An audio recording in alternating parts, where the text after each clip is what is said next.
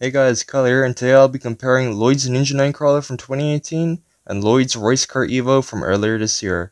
If you want to skip to a specific part of the video, I'll leave timestamps in the description below. With all that said, let's start by comparing the minifigures. Comparing the minifigures, which, I mean, this isn't a very fair comparison whatsoever.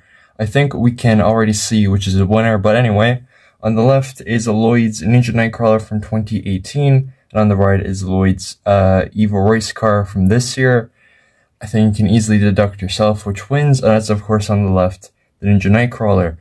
This just has so much better minifigure designs. I am a fan of the core Lloyd suit, but I, I don't know, I think the legs just clash too much with it. The dark green, the green, and the olive green all look incredible together, but then you have the brown of the legs, I like the olive brown, and it just doesn't doesn't work in my opinion. I think these Pyro minifigures are also pretty cool, especially this guy uses the Outrider arms he's pretty dope to get. But I mean, Ultraviolet and this one's a Garmadon version of Neon Lloyd kind of carry. So in my opinion, if we're talking about minifigures in comparison, of course, the Ninja Nightcrawler is the winner. But anyway, let's take a look and compare the side builds you get in each set. So the side builds here are very, very like interesting. Personally, I think both of these are great, which on the left, Ninja Nightcrawler from 2018, and on the right, Lloyd's Evo Race Car from this year. I think these are both great in some sense, but honestly, and a rare W, Lloyd's Race Car Evo is a better side build. I think the Sons of Garmadon one is fine, but like it's just a bike with like two red katanas attached. It's like it's it's whatever.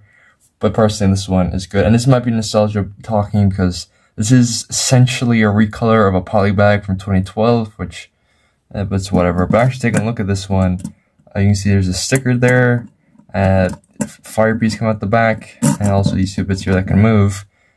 Pretty detailed. And here it's just, uh, it's just a bike with a of Garmadon sticker and these things at the side. But this is also what both look like with each respective minifigure riding it. But in practice, with both minifigures on, again, Lloyd's Race Car Evo is going to take the cake here because it has, since it is a car and not a bike, doesn't have the issue of this constantly toppling over because of the wrecking ball. And you could say just remove the wrecking ball, which, alright. But it, it just looks better with the wrecking ball in my opinion. This guy, mechanic guy, he's pretty cool. I don't know, he's He's pretty cool. Hopefully you guys see him in the show. He's a pretty cool guy. And finally, let's take a look at the main course. And obviously is the car comparison. Now, once again, I, I really don't think I need to tell you which is the winner. On the left is the Ninja Nightcrawler from 2018, and on the right is Lloyd's Race Car Evo from this year. And this quad literally is a very pitiful comparison. Straight off the bat, this design here for Lloyd's Race Car Evo, what were they thinking? What were they smoking up at LEGO? Like, comparing these two night and day. The stud shooters, I guess they're meant to be exhaust, could have been hidden better. And honestly, I think they should have gone with the classic stud shooter style here, I, I mean, again, the play feature, it's it's not that great. You can see that Technic exposed there, which you push down on, and the blades pop up as well as these two um, ro rotary cannons or whatever you call them. Uh, the the glass, the windshield part. I mean, what what even happened here? This just looks like they ran out of parts midway through. Like it's missing a roof or something. But I can assure you, this is not missing any pieces. This is exactly the way it's advertised on the box. And honestly, that is a bit shocking. At the back as well, I mean, these both, yeah, these both look, I mean, yeah. The, this one here is obviously worse. This can detach though at least, but I don't know, this just looks a bit unfinished. Uh, both at the front again look pretty good, but flipping them to the side, you can see again just what what happened with this. This here is very slick, very elegant. This here is slick, yet a bit chunky, and maybe too chunky. Like, what what happened?